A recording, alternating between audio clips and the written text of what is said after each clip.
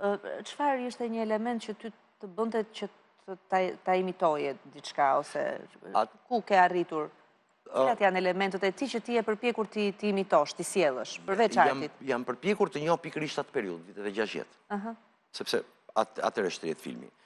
Dhe kam folur me shumë njerëz që kanë jetuar me Enver Hoxhën, me mjekët e tij, e tjerë, po, e tjerë, për të njohur si ishte ai, në të vërtetë, përtej kamerave dhe përtej kongreseve e përtej dokumentarëve të propagandës, si ishte ai.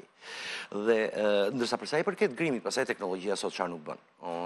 është, është, grimierja ishte ruse, ishte një nga grimieret, është një nga grimieret më të mira në botë, këtë nuk e them për, është vërtet, ka punuar me Sokurovin, me regjisorë të jashtëzakonshëm. Dhe për t'u përafruar nga pikëpamja vizive, ato bënë një punë të mrekullueshme, saqë nganjëherë edhe habitesha një çikë vetë. Dhe u amalgamuan të gjitha këto. Është një ndër rolet e tua më të mira mendon, apo? Është vështirë për aktorin të thotë kush është roli i vet më i mirë. Unë e di që e kam punuar me shumë pasion, jam marrë shumë gjatë me të, gati një vit e gjysëm, përpara se të shkonim në xhirim, sepse në xhirim ti duhet të jesh gati. E qartë. Jam marrë shumë gjatë, e them, e kam ri, e them, e rithem, më saktë, që është një figurë që duhet studiuar me themel. Hoxha dhe gjithë struktura që e ngriti. E kuptoj.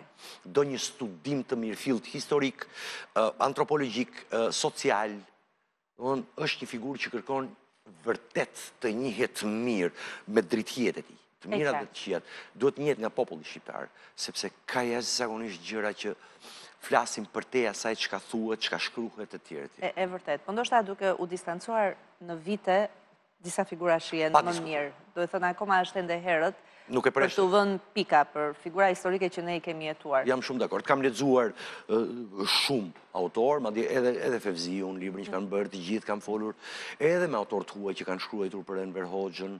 Jam përpjekur, kam kërkuar më saktë nga regjisori, edhe dokumentacion nga Rusia. Mhm.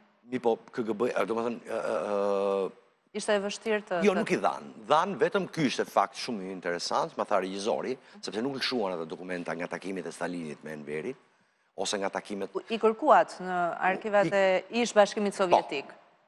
I kërkoi regjisori në emrin po. tim, po edhe ai për vete, sepse dhe atij po. i duhej ta njihte figurën e Enver Hoxhës, dhe u treguan shumë të prerë, nuk dhanë dokumentacion.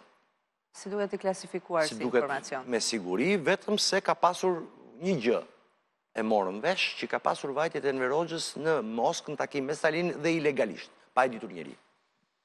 Wow, vërtet? Po. Kjo është lajm, informacion interesant. Shumë interesant. Domethënë, nuk kanë qenë vetëm vajtjet zyrtare, që i njohim edhe ne, njeh edhe historia shqiptare. Ka pasur dhe vajtje ilegale, Pra, vajtje që s'e ka ditur askush me përjashtim të rrethit të tij të ngushtë. Pa protokoll, po, takime jo zyrtare. Se ç'është thënë, se ç'është bërë, nuk e dimë. Një vlerë shumë interesante, në fakt, në karrierë.